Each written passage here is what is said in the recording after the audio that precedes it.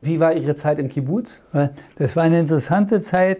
Es war eine Zeit, wo es nichts gab außer Zelten und Baracken und einer kleinen Kammer, wo unsere Kleider lagen und ein Raum für vier junge Menschen mit vier Betten und vier Stühlen und weiter gab es da nichts. Und es war eine interessante Zeit zu sehen, wie die Menschen gearbeitet haben, ohne Bezahlung, für ein bisschen Essen und Wohnen.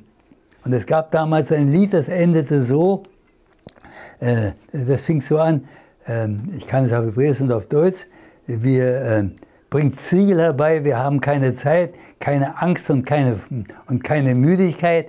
Äh, äh, die, die Zukunft unseres Landes ist unser Lohn, wir brauchen keinen Lohn. Die Zukunft unseres Landes ist unser Lohn. Wenn man das heute einem von den Leuten sagen würde, das können die gar nicht mehr glauben. Das war eines der berühmten Lieder der Arbeiter.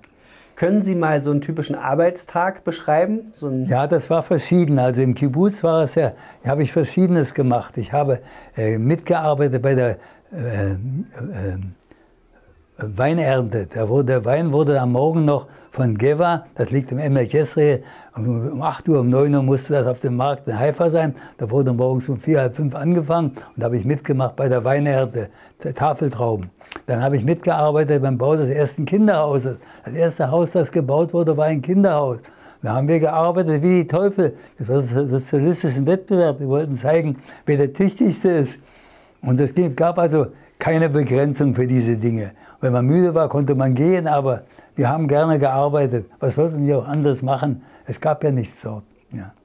Es war, damals gab es, kein, wie gesagt, kein einziges Haus. Und ich bin jetzt wieder dort gewesen vor Jahren. Eine wunderbare Siedlung geworden. Ja, und es ist immer noch ein Kibbutz.